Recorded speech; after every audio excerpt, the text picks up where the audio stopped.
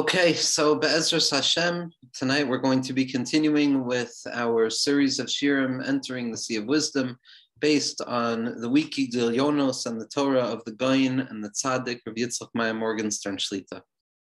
Now, we're going to continue this week in what we spoke about last week as well. Because last week we spoke about a shir that the Rebbe had given from Tafshin Ayin Zayin with regards to the Taras Chacham and the Mahalach of the Taras Chacham, which is that when moving from the general principle into the particulars and then into the particulars of the particulars and uncovering the fact that in each and every particular, no matter how particularized it may be, one can uncover the sum total of all that exists within the general principle as well. So, what we've done is we have proliferated and multiplied the opportunities for our encounter with the infinite. Because prior to this quantumization of Kabbalah that the Teres Chacham brings us to. So a person thinks that I could only find Hakadosh Baruch Hu in the world of Atzilus, in the world of Adam Kadmon. I could only experience Kesser when I'm by Kesser, and I could only experience Chachma when I'm by Chachma, and I can only have Bittel b'Metzias when I'm by Bittel b'Metzias, or Bittel b'Etzem when I'm by Bittel b'Etzem. That everything is what it is and not some other thing. Comes along the Teres Chacham, uncovering the roots of the teachings that were in his Rebbe, the Rashash, and the Rashash was simply uncovering the roots and the teachings that were in his Rebbe, the Arizal, and teaches us that Adarabah, every single point, every single coordinate, every single moment, every single experience and feeling is not some standalone particular, but rather it contains the sum total of all of the entirety of the Seder Hishtalshlus that every single moment, every single encounter, every single sphera contains within itself the worlds of Adam Kadma and Atzilus Yitzir and Asiya. It just happens to be, it's that particular set of Akva Abia in accordance with where it stands in the measure of that particular map of where a person might be. So now, instead of thinking that I can only find Kesser when I'm by Kesser, that I can only find Chachma when I'm by Chachma, I can only find joy when I'm by joy, or I can only find comfort when I'm by comfort, comes along the Torah Chacham and says, no, even within sadness, there's an aspect of joy. Even within a sense of self, there's an aspect of bittul, because within each and every entity, within each and every moment and encounter, one, if a person digs deep enough and reaches the core of it, what you come to find is that it's all made up of the same exact material. There's no shift in the quality of reality. Everything is the same quality. Everything is made up of the same matter. The only distinction is going to be the quantity and the expression in which we are capable of grasping it. So when I'm by a darg of keser, when I'm in a state of bittul or ava or yira, so then my ava, my yira, my bittul are on a revealed level. But when I find myself thrown away in the lower realms of experience, when I feel devoid and disconnected from any of that content that I so desperately seek, instead of running upwards in a vertical way of trying to escape my smallness and find the greatness that lives outside of the smallness, what the Teres Chacham and really what the Rebbe is teaching us is that dig into the smallness dig into the encounter itself, dig into the moment. Don't run away to some vertical height that you think is going to free you, but dig down deeper into the depths of the matter, and you'll come to find that everything that you need is right in front of you. And that's what gives us the ability to find Hakadosh Baruch Hu quite literally wherever we are, in every bracha, and every word, and every sigh, and every glance, and every look, and every piece of food, and every morsel of experience. Everything is there. Everything is everything. Or as the Leshem Shema said, Hakoil Hu Bakol. So, what we're going to be looking at now is something historic. All of it is historic, something historic. The Rebbe has been giving shirim on the Sefer Taras Chacham. Sefer Taras Chacham was written on scraps of paper. The Taras Chacham was so profoundly impoverished that he didn't have the capacity to write on a full piece of paper. You know, it's said that there was a time where the Taras Chacham, the Rashash, and the Chida wanted to bring Mashiach and they tried and they were interrupted by a black dog of sorts that interrupted their yichudim. And the Chazon Ish even pointed to the place in Yeshivat Beit El in the attic. There's a little bit of a descent where they were standing, and it's a known place. And as a result of their as a result of their trying to preempt redemption, so to speak, and whatever level that means something to us. So each and every one of them was punished. The Rashash was punished with Misa. The Chida was punished with wandering his entire life, and the Taras Chacham was cursed with poverty. So what we see is that the Chida traveled his entire life, which is where we find those diaries from. The Rashash passed away, and the Taras Chacham was so poor that his book couldn't even been published properly because he was writing on scraps of paper. And what the Rebbe points out is that in our generation, what we're seeing is an undoing of all of those klalos, of all of those negative impacts of trying to bring Mashiach too early, which hints towards the fact that everything is being fixed, and in truth, it's going to be time for Mashiach. The Rashash, who died, has never been more alive. There are more people learning the Torah of the Shash than ever in history. Ashkenazim are learning Torah Sarashash. Everybody's learning Torah Sarashash in particular through the various Mikubalim and specifically through the Tzaddik Rabbi Yitzchak Meir Morgenstern. The Teres Chacham, whose punishment was that he would be impoverished, we see nowadays that there are Mahaduros, Niflaim. The Sefer Teres Chacham is being republished in new, fancier ways, that they came out with a, a version that Avad Shalom put out, a tremendously beautiful example of how beautiful the Sefer Torah Chacham is. And not only that, but the Rebbe's beis medrash under the, the work of Rav Shmuel Shlita is really coming and getting ready to put out a, a commentary on the Torah Chacham, which is going to be uh, on a certain level the end of all commentaries. When these books are published, what it means for us, and I, and Chaber, I mean this, what the Rebbe and his Talmidim's writing do for us is that they make it clear that it's harder to not understand than it is to understand. It used to be a problem to understand, and that was enough of a reason for a person not to delve deeply into Pnimius Torah. Nowadays, it is more difficult to not understand than it is to understand, because when a person reads the writings of the Rebbe and his Talmid, Reb Shmuel, and his Talmid, Reb Akiva, and all of the Talmidim, it's more difficult to misunderstand because everything is laid out so clearly. And even with the Torah Chacham, so for the past two years or so, what the Rebbe has been doing is each and every week there's a simon in the Torah Chacham. They go through the pshat of what it means, the, the quantum mathematics of what it means in the writings of the Arizal, and then there's the Derech Avoda, which is the application of these teachings of the Torah Chacham in line with the teachings of the Baal Shem Tov, because this is something that the Rebbe sees as a singular chain in his understanding of Torah, that in order to translate the writings of the Arizal and the Rashash into the in order to translate the teachings of the Arizal into the teachings of the Baal Shem Tov, you need the teachings of the Rashash. The Rashash and the Chacham are the bridge that allow us to go from the manual, from the menu of what experience looks like as it's expressed in the writings of Kabbalah to the experience towards partaking of the meal as it's expressed in the writings of the Baal Shem Tov and his students. What the Rashash allows us to do is to see how both of them are really saying the same thing. And so we're going to look at today is the Nakuda in Taras Chacham that the Rebbe was talking about in this week. So this week, just to be makdim, just to give an overview, a general overview without going into any of the details. So basically what the Taras Chacham is pointing out is that we know that in, in Shviras Hakelim, in the shattering of the vessels, what happens is that there are 288 sparks that fall down and they enliven those shattered vessels as they exist in their exilic state prior to their redemption and their movement back upwards into the world of Atzilus, which becomes the building of the world of Tikkun. So what falls down in the Shvira, what falls down in the trauma are the shattered vessels. So the Kalim fall down. Within the Kalim, there's a Roishem of the ore that was previously there, because one of the most important rules when it comes to spirituality is that once spirituality invests itself somewhere, even after it departs, it leaves an irreducible trace, it never goes away. And thirdly, there were sparks from the lower levels of the ore that went down to occupy those shattered vessels, kolzman, so that when we encounter them as human beings in our avoida, we can uncover the sparks and the nitzuts of the light that exists within the shattered vessels, thereby elevating the spark back upwards and building the kalim again to reorient that light into the world of tikkun. That's the Rapach Nitzoitzin.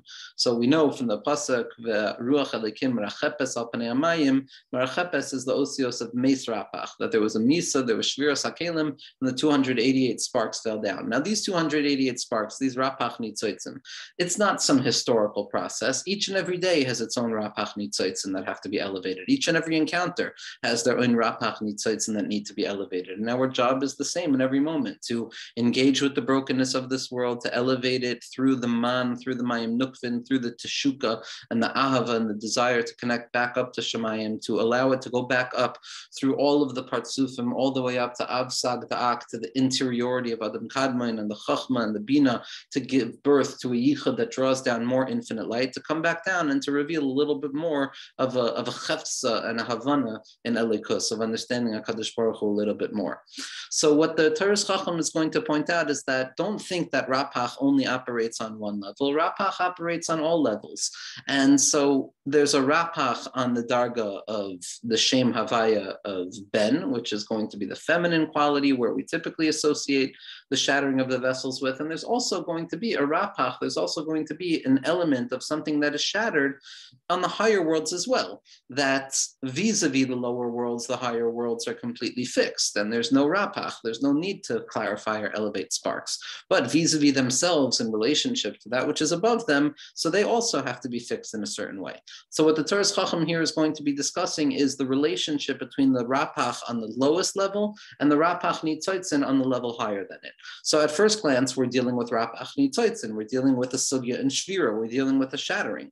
But what the Toras Chacham says is that in relation to the shattering on the lowest level, those 288 sparks that need to be elevated, which represent the brokenness and the trauma and the concealment, you can look at the level of brokenness, trauma, and concealment that is one level above, meaning the Rapach Nitzoitzin and the Darga of Ma, as opposed to the Rapach Nitzoitzin on the Darga of Ben, or the Rapach Nitzoitzin on the Darga of the Zachar of masculinity, which is tending to be considered a higher expression than the feminine or the Nukva. And you can look at those level of Rapach, which are still broken, but you can look at them as if they represent the sum total of all of the worlds that a person wants to encounter that the rapach that exists a level above me, the brokenness that exists on a level above me in relationship to my level of brokenness, I can look at that brokenness above me and I can find within that brokenness all of the fixedness and all of the wholeness and all of the full expression of all of the worlds. And that's really the question that the Rebbe is trying to be masbi here in the Toras Chacham. How could it be that if we're talking about Rapach Nitzoitzin, we're talking about shvira. We're talking about something that has specific halachos of brokenness and a need to clarify it. So then, how can we be talking about it in a way that it contains everything? It contains an av and a sag, a chachma and a bina, a bittel, and really an or ein sof. So that's the nakuda that this piece in Toras Chacham is coming to ask. So what the Rebbe is going to set us up for is as follows. So he says on the page earlier that there's a klal gadol in there's a Klal Gadol in Breslov, in the writings of Rabbi Nachman, that when it comes to Avodah Hashem, all that a person gets shown is the step right in front of them. That's it. That's all we have to keep our eyes on. The step right in front of me is all that is going to be revealed to me in my Avodah Hashem. But the Rebbe continues and he says, but sometimes that's not enough because we know that the Vilna Gaon writes in his Peirush on Mishlei that one of the one of the tafkidim, one of the purposes of the Nevi'im was that I would go to a Navi and say, what is my avodah? What do I need to fix in this world? What do I need to do? What do I need to do? And the Emek HaMelech says that sometimes we can be zeicha to that darga of nevuah nowadays if we're zeicha to understand what our avodah is. But we want to know what it is that we need to do. And sometimes it's not enough to just say, go ahead with the next step in avodah Hashem.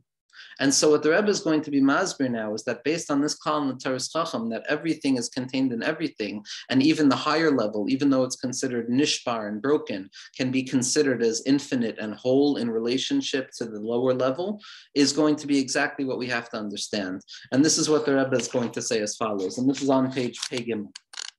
So he says, Baram, nevertheless, Achar koil elu ha'etzos hakadoshos adayin leiv yodei amaras nafsho.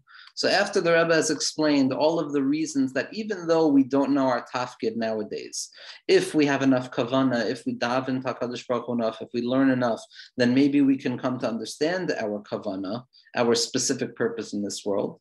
Nevertheless, the Rebbe says when all is said and done, we still struggle. The heart still knows its own bitterness that we don't know exactly what our tafkid is. We don't know exactly what needs to be fixed.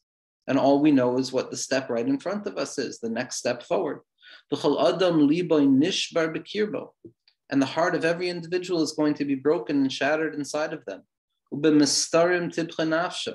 And in the hiddenness of their soul, their soul is going to be crying out. That at the end of the day, I don't know the truth of where I'm supposed to go or what I'm supposed to be doing because it's so concealed. And that in truth, when I look in front of me, all I see is confusion and I have no idea what to do. And it's almost as if my legs are entangled. And it's not clear to us which path we're going to be led.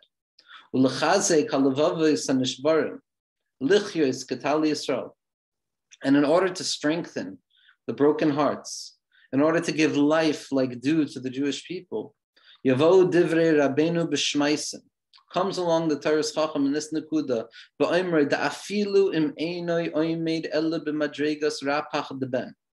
Even if a person only is standing at the lowest level of Shvira, the Rapach Nitzoitzin of Ben, the lowest Shvira, that place that needs to be fixed, Shehima Madrega Hayoter Tachtoina lowest imaginable level.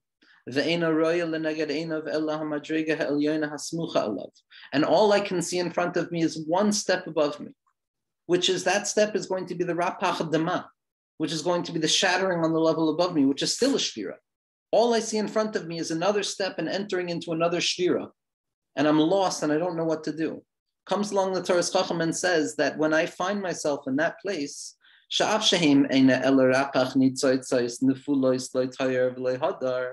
that even though when I look above and I look at the darga ahead of me, when I look at the place that I need to go to, all I see is shvira and all I see is brokenness, even though it's on a higher level and there's no hadar there, there's no glory there, there's no sense of dveikos and chasheka. Afal Pikain says the Rebbe, im yira salaykim if a person has the fear of God in front of their eyes,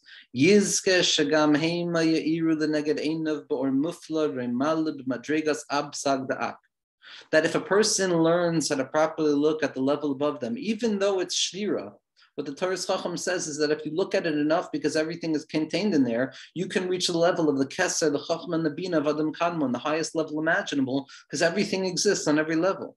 To teach us the gambeis asher bezois shenitl nevuah even in a time like this where prophecy has been taken away from the prophets, Ve'ein adam mahalich, and a person has no idea what the right step is. Nevertheless, al yipol yiblab. A person's heart shouldn't fall inside of them. Because a tiny bit of light pushes away an immense amount of choshech. Because even in the rapach dema, even in that shattering, which is one step above me, if I dig deep enough, I can uncover the or of tikkun, the or of av and sag the ak. This is the or of chacham and bina, the yichud ilah and the yichud tata, the yichud of keser and the yichud of chachma. Everything is there. The zu amadrega ha'elyona hasmucha and this level that is just one step higher than me, that when I look at it, appears to be nishbar also, and it appears to be an insignificant step in the process of spiritual growth. Ihu gufa lo kolba. It's lacking absolutely nothing, and everything can be found there. Because in its particularization, when we open it up, what we come to find is that there exists within it a world of Adam Kadmoin and a world of Atzilus Briyatzir and Asiya. Everything is there. Vim yudrashena b'cholev. And if we seek it out with the entirety of our heart, and we search it out like it's the riches and the treasures, then we'll come to understand the fear of God and we'll come to understand the knowledge of God. That in this level, even though it's a shvira, even though it's broken, even though it has all of the halachos of brokenness, the klum nothing is missing. Everything is there. I don't have to run anywhere but the step ahead of me. I don't have to go anywhere but what is right in front of me because everything is right there.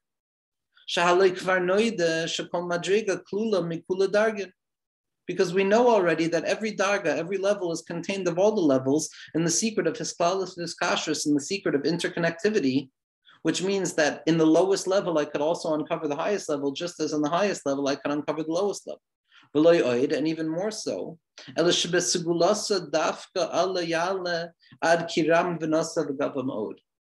Even more so, this is not just a bidiyeved, this is exactly how we bring about the higher tikkun.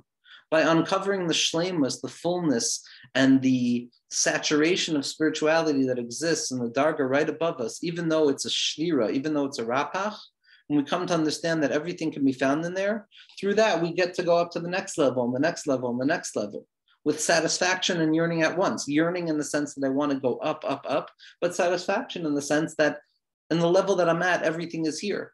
And to uncover the secret paradox that rests in the heart of so much of what the Rebbe is teaching us is bittul and hishtoikukus at once, is to yearn with self-nullification or to be self-nullified with yearning, to feel that it's enough and not enough at the very same moment until we extend ourselves and elevate ourselves to the darga of ad kiram v'nasa v'gavam oid, that pasuk in Yeshaya that tells us that a Kadosh Baruch Hu is so removed from this world, gavam oid, which is the secret of the raglayim da adam kadmon that are yored ahar hazesim, to be magala, that it's specifically in the lowest worlds that we uncover the highest light of a Kadosh Baruch Hu. Then a Kadosh Baruch Hu gives us access to the inner chambers and I can find joy. Amen. Ken Yom Hashem this the kuda is that wherever I am, the next level in front of me is everything that I need. And so I don't know if the Rebbe is saying this, and, and I could be wrong in this, but it could be that it's an answer to the kasha.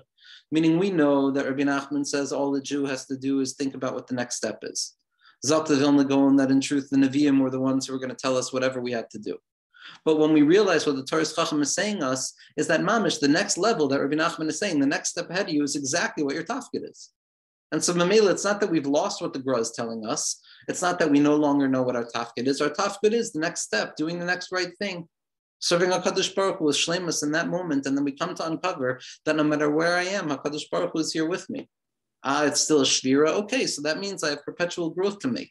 But everything can be seen through these two lenses. That on the one hand, it's broken. On the other hand, if I dig deep enough into it, it's klum chaser Nothing is missing. And instead of feeling that I have to escape my current state in order to find the spiritual satisfaction that I'm seeking, I can learn to be satisfied, as the Rebbe said elsewhere this week, that it's not, it's an Indian of tafasta merubula tafasta, that if a person tries to grab too much on Avodah Hashem, they're naturally going to fall. And a chas v'shalom, a person can say, simply because I can't be perfect in this, I might as well not try anything. And the Rebbe, that even a little bit contains the whole. And a little bit is as good as anything else because a little bit is all that we can do. We're never going to chop the full picture. And it's only when we accept upon ourselves these slow and steady gradational progresses of movement upwards and realizing it's broken and moving up and broken and up and up, then we'll come to uncover the fact that everything is everything and that in each place that a person has, they can find the sum totality of what they're looking for. And it's not going to make us self satisfied. It's not going to have us stop and rest on our laurels, God forbid, and say, if everything is present and everywhere, then I don't have to go anywhere. El Adraba, it's a teshuka, it's a desire to reach Ad Ein Sof to reach the loftiest possible spaces that the human mind is capable of comprehending, but at the same point, being okay with where we are at the same point. So it's not a chuka, it's not a yearning that's born of a pathological need to become better than I am because I'm shameful about how low I am, but it's a chuka that is born out of bittul. It's a chuka that says, I am fine. HaKadosh Baruch is here with me everywhere, but it's my job to move weiter. That's what he does. And Mamela, the next step, the next right thing is exactly what my tafkid is, Be'ezras Hashem.